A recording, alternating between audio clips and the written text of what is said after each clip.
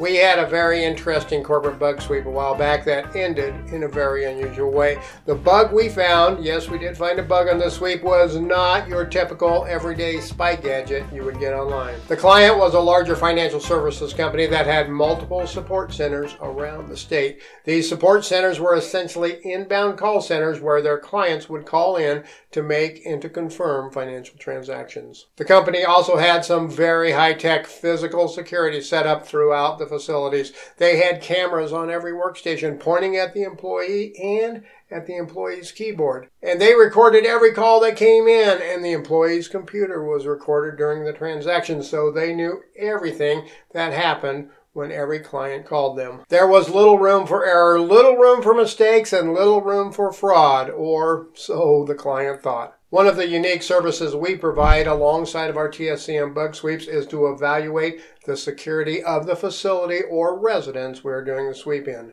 And with this client, we found several areas of concern when it came to security despite all their physical security devices, processes, and procedures. Now, if you want to ensure your PI business is secured and protected properly, then check out this video's sponsor. This video is sponsored by OREP Insurance and Working PI Magazine. OREP is a leading provider of private investigator liability insurance.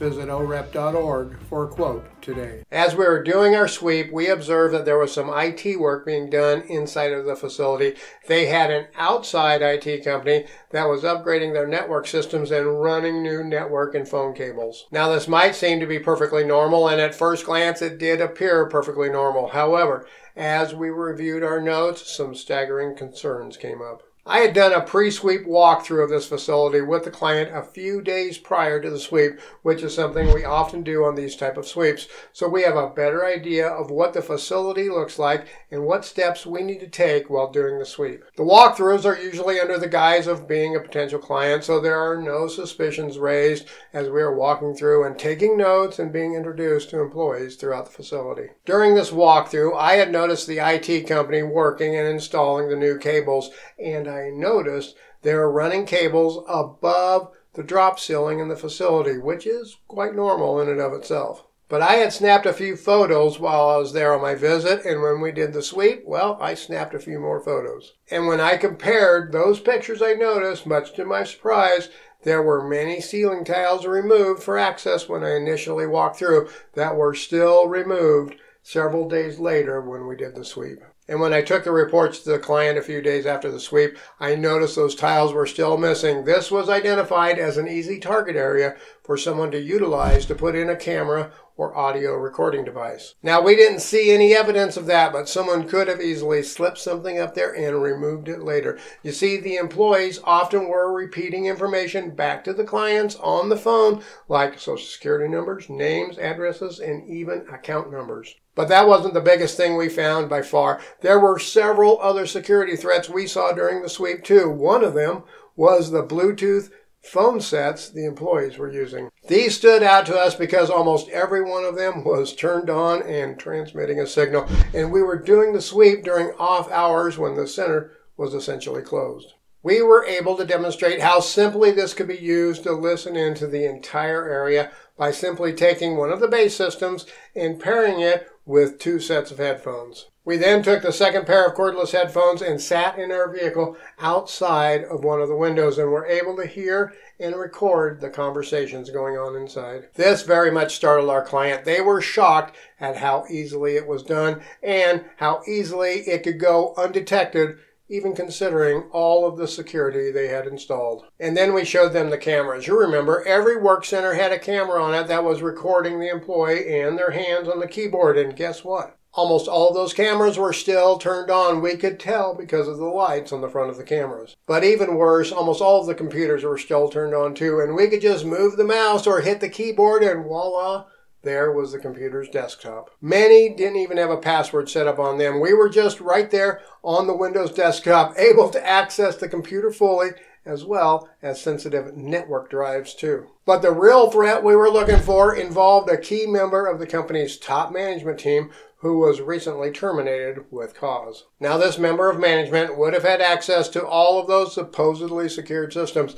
They would have been able to listen in on calls, watch the cameras, watch the recordings, and everything. And the manager in question also had after hours access so they could roam freely through the facility at any time by themselves and plant whatever type of devices they wanted to plant and inspect any system that they wanted to inspect. That brought us to yet another security threat the company had, and that was any manager had after hours access anytime. They had to log into the security system when they came in, but it had zero time limit set, and there was no alert system set up to tell security someone was there or how often someone came in and left. Sure, they could review the log files and see when people came and went, and they could review security footage to see what they were doing, but that wasn't part of their normal procedures at that time. And the real threat we found wouldn't have been detected even with proper procedures and protocols for doing those types of security reviews. You see, the concern the client had was that this very high level member of management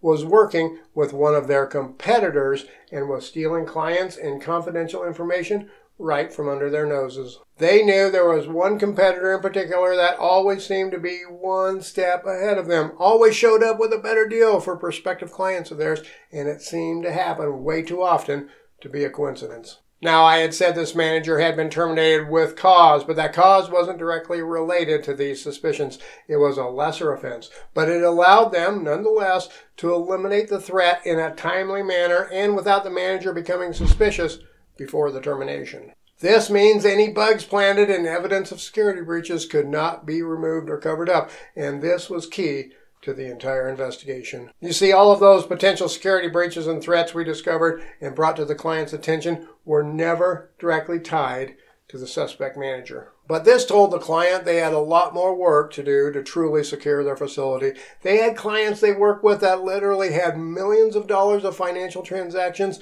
conducted by this one facility on a daily basis. When we conducted the actual sweep, we ran our near field radio frequency detector and we ran our thermal infrared sweeps and we ran the IR sweep and we ran the spectrum analyzer sweep and everything else. And we did our physical inspection, searching every nook and every cranny with eyes, hands, and inspection cameras. Then we found one device that could have jeopardized the entire operations for the client. This one device was what the manager used to transmit data from the facility even when the manager was not present. This one device was a simple flip phone, you know, one of those disposable cell phones, but not a smartphone, a flip phone. And why would they use a flip phone? Well, first off, it was one of those pay as you go phones, so there was no contract, no activation, just buy it and some time cards, and away you go with no way to trace it.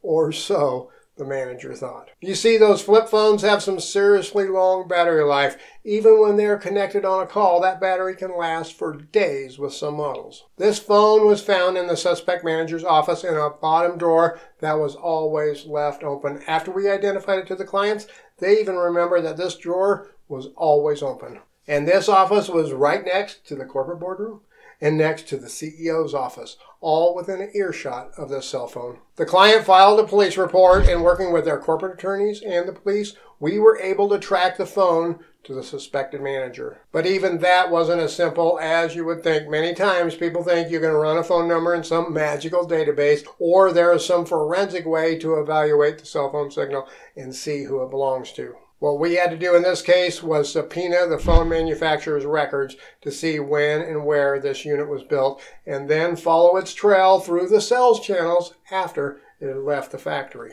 And that trail led to a little convenience store where the phone was purchased, but when we received the store's records, it indicated it was paid for with cash. But it also indicated it was purchased along with another cell phone and many phone cards. So we then subpoenaed their security records and were lucky that they still had footage from that day long ago. And the video showed the suspect manager was the individual who purchased the phone. And the phone company records indicated that the phone only made phone calls to the other phone the manager had purchased. What the manager did was wired a headphone jack from the second phone that was hooked up to a computer to record everything and could simply listen to conversations whenever desired. You see, the bugs and threats we identify are not always cameras hidden inside of clocks, plants, books, and things like that. Not all bugs are transmitting all of the time or any time for that matter. In fact, when we found this phone, the battery had been long dead, but our physical inspection was what identified it. And if you want to hear more about the equipment we use in a bug sweep and more types of real bugs you can find out there in the world,